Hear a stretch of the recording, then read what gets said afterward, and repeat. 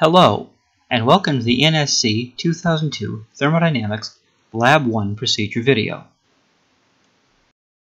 In this lab, you will work in a group to take five data points relating saturation pressure to saturation temperature for water. The data points should be evenly spaced in pressure, between 300 and 700 kPa gauge. You will also measure the temperature of the steam generated in the boiler after it has passed through a throttling valve and expanded to atmospheric pressure. By performing an energy balance on the throttling valve, you will be able to use your measured data, together with the steam tables, to calculate the quality of the steam in the boiler. When you come to lab, the boiler should already be up and running. The pressure shown on the display panel should be near either 300 kPa or 700 kPa, and it doesn't matter which pressure you use as a starting point. Use the heating control knob to fine-tune the pressure and, when readings have stabilized, use the display control knob to change the display. Record the values for T1, the temperature in the boiler, T2, the temperature of steam after passing through the throttling valve and expanding to atmospheric pressure, and P1, the pressure in the boiler. Turn the heating control knob up or down after recording your data to change the pressure in the boiler. This change in pressure is necessary in order to reach your next data point. While you wait for the pressure to change, look through the sight glass on the front of the boiler.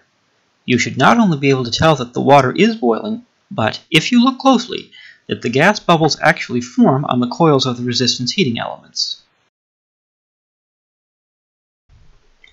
Now, turn your attention to the steam calorimeter. As you watch the steam condense, try to figure out why we measure T2 the temperature of this steam, but not P2, the pressure of the steam.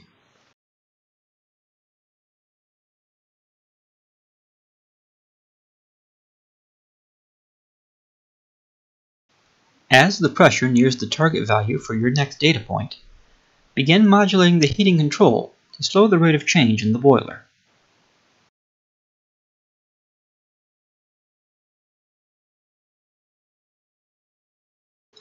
After each change to the heating control, wait for the system to settle and observe the effect of the change.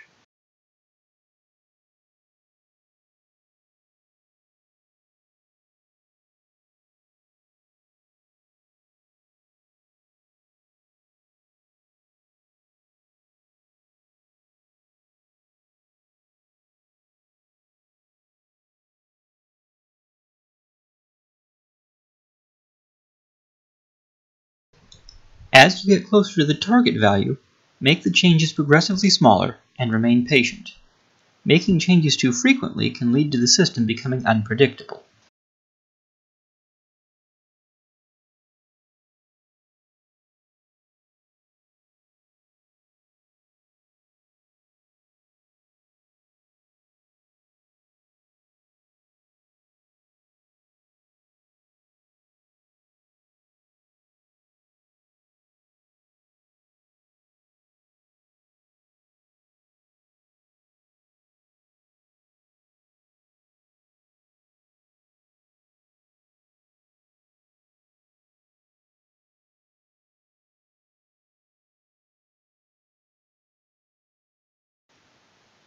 It's okay if you overshoot or undershoot your target pressure by a few kPa.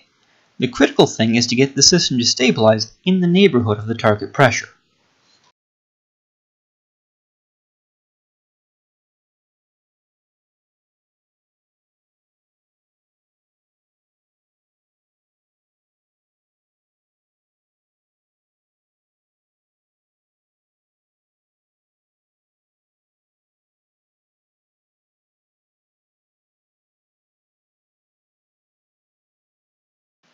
Wait at least 20 to 30 seconds to verify that the system is indeed stable.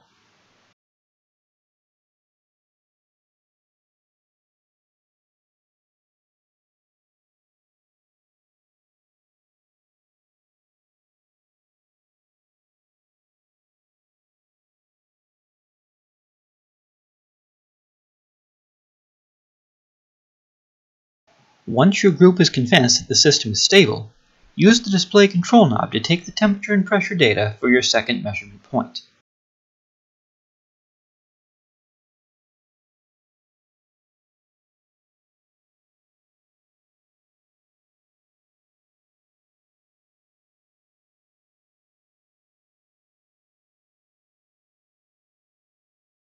Repeat the procedure until all five data points have been measured. That completes this video. Thank you for watching. Be sure to watch the data analysis video after you have completed the lab.